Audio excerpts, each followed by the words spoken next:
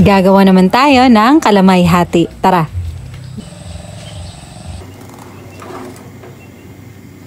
At eto ang kompletong sangkap. Pagkasamasamahin lang natin yung dalawang tasa ng giniling na malagkit na bigas at dalawang tasa naman ng gata. Haluin lang natin ito.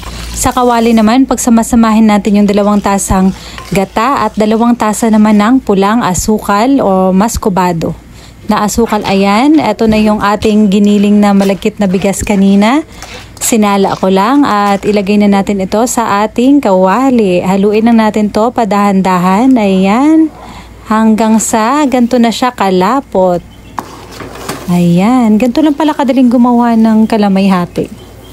Ang alam ko kasing kalamay hati ay yung nakalagay siya sa baon ng niyog. Matagal na na pa nakatikim ako ng kalamay hati anong nag-field trip kami sa Bohol, doon ako nakatikim ng kalamay-hati na nakalagay siya sa baon ng niyog. Pero dito naman, iba naman yung kanilang version ng kalamay-hati. At ayan, nilagay ko na to sa lalagyan. At maglalagay ako dito ng aking ginawang toppings, yung latik. Damihan natin mas masarap kapag ka madaming latik. Handa na ang ating kalamay-hati. Tara, titikman na natin.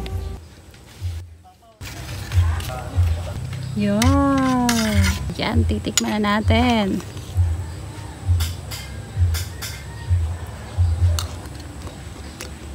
Mmm. Sarap. Hmm? Yung latek, ano siya? Nagdadagdag ng crunch crunch. Hmm.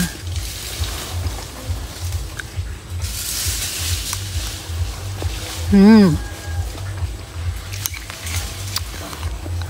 Sarap.